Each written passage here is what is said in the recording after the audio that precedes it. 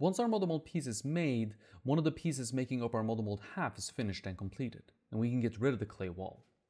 It has served its purpose as a stand-in for a plaster wall, but now we have a plaster piece with a plaster wall to make the next piece against.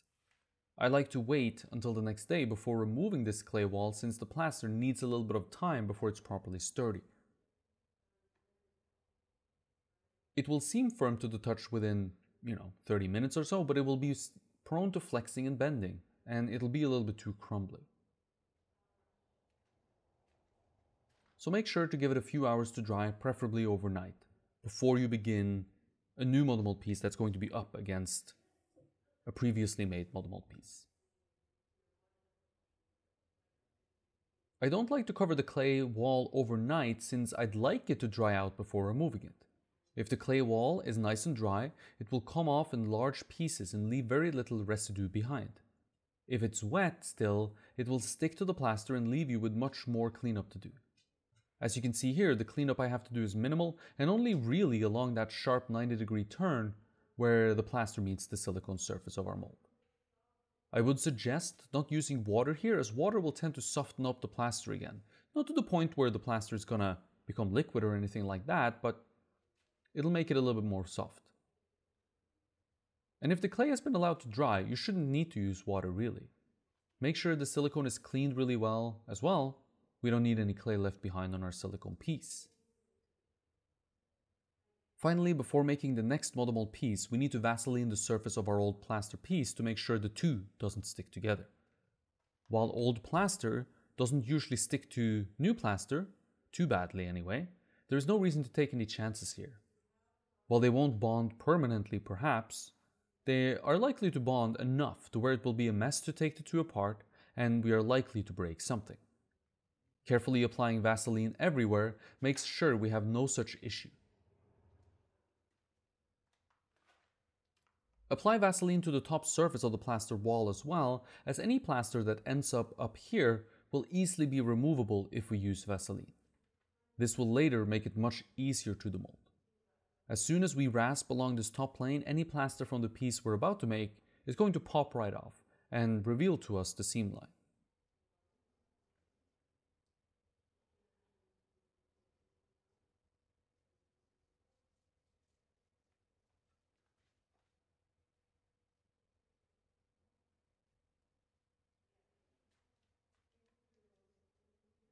Since the next piece is just the same as the process we just observed and did, I decided to skip it and move on to the next piece.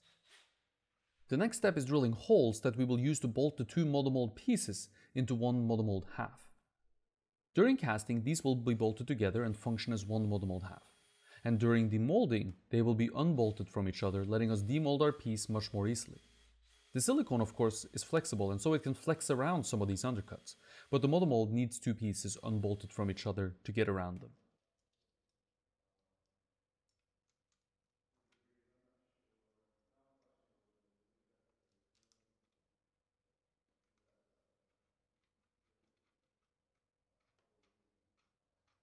Drilling is easy. I like to use a drill with a high speed setting and a drill bit meant for concrete.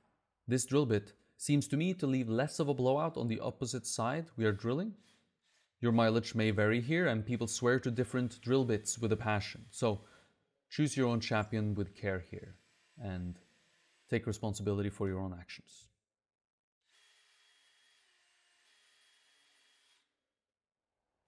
To bolt the two halves together, I'm just using bolts, washers, and wing nuts.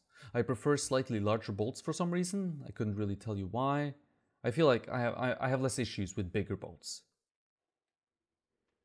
Washers make sure the pressure of the bolt is dispersed over a wider area, which is good. And if you don't use these, then the bolt will dig into the plaster, which is actually not as hard as you perhaps would think. Finally, I like to use wing nuts instead of regular nuts. They make taking the bolts on and off much faster and easier using just your hands, and tool-free assembly is always a plus in my book.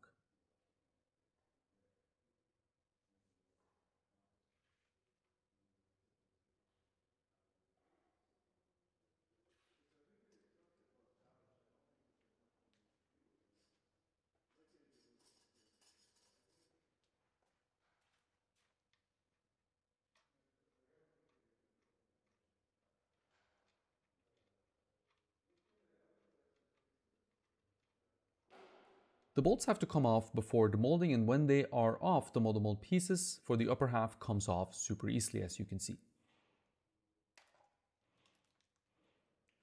There's no magic to removing mother molds. If the mold was designed well, they should come off easily with little pressure. Do not go very hard on your mother mold as I'm sure you will demold it before the plaster has had enough time to properly dry out. Plaster can take weeks to dry out completely and won't be as strong as it potentially can be until this has happened. So, a light shake and a little pull should remove the mother mold, if it was designed well that is. Sometimes a slight up and down movement can help the piece loosen up a little bit, Moving it up and down releases some of the suction that's created between the silicone skin and the plaster mother mold piece. And once that suction is released, it's easy to remove it.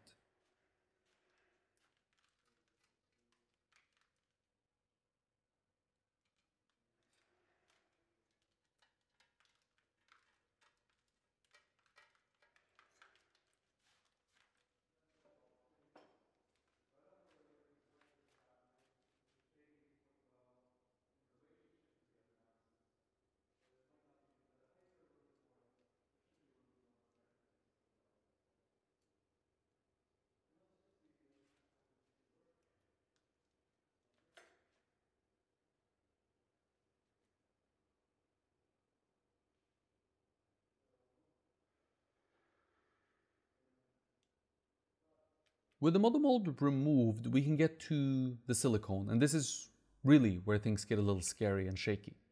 Here we have to use knives, and we have the risk of cutting wrong somewhere and damaging the silicone skin of our mold, or cutting ourselves as well and damaging ourselves.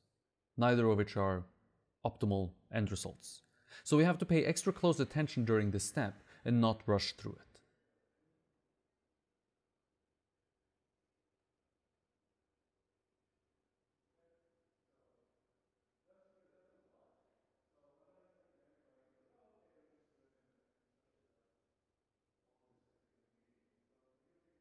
To cut the mold, I'm going to use two knives.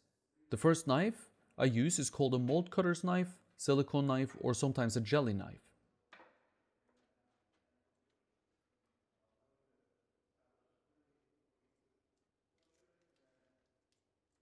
This knife is not meant to cut all the way through the silicone down to the surface of the clay, but to create a groove, one positive and one negative in each of the silicone pieces.